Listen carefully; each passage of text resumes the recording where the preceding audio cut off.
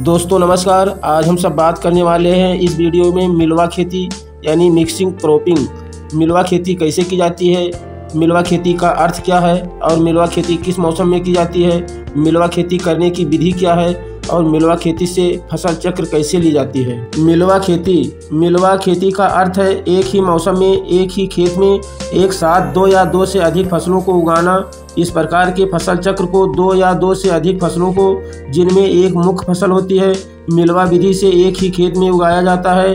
कृषि संबंधी अधिकतर कार्य मुख्य फ़सल की आवश्यकता अनुसार ही किए जाते हैं। जैसे कि खेत की तैयारी, खाद एवं उर्वरक का प्रयोग, सिंचाई तथा निराई गुड़ाई आदि मिलवा खेती अधिकतर असिंचित क्षेत्रों में अपनाई जाती है। मिलवा खेती मिक्सड क्रॉपिंग के लाभ। मिलवा खेती फ़सलों की असफलता के विरुद्ध एक प्रकार का बीमा है, क्योंकि इसमें प्रतिकूल मौसम, कीटों एवं रोगों के प्रकोप अथवा सूखे या अधिक वर्षा के कारण यदि एक फ़सल क्षतिग्रस्त हो जाती है तो दूसरी फ़सल से कुछ उपज अवश्य मिल जाती है।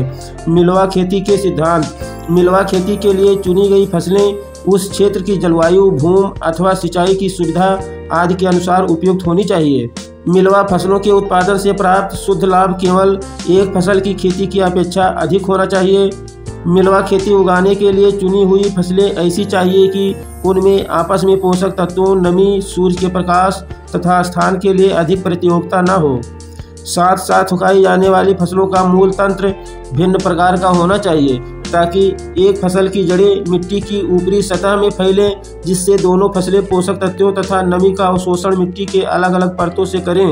और दोनों फ़सलों के पोषक तत्वों की प्राप्ति के लिए कोई प्रतियोगिता न हो। उदाहरण स्वरूप दलहनी फ़सलों की जड़ें लंबी होती हैं और वह मिट्टी के नीचे वाली परतों से पोषक तत्व तथा जल का अवशोषण करती हैं। धान्यों या अनाज की फ़सलों की जड़ें उथली होती हैं और वह मिट्टी की ऊपरी परतों का अवशोषण करती हैं, जैसे अरहर प्लस ज्वार।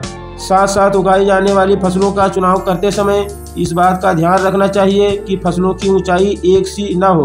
यदि एक फ़सल अधिक ऊँची हो तो दूसरी फ़सल कम ऊंचाई तक बढ़ने वाली होनी चाहिए। ताकि फ़सलों में, आपस में सूर्य के प्रकाश तथा कार्बन डाइऑक्साइड की समान रूप से उपलब्धि में बाधा न पड़े।